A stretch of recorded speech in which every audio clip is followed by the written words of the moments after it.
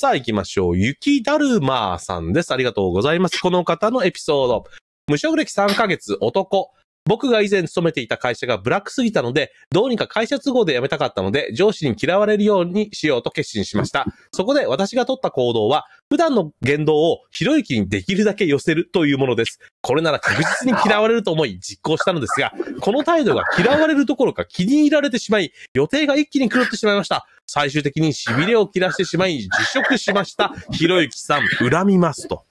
いや、途中までは平だけどさ、僕が恨まれるのおかしくない？なんでよ、君がさ、結局、君の真似したら辞めれると思ったら、全然辞めて、辞めさせてくれなかったんだよ。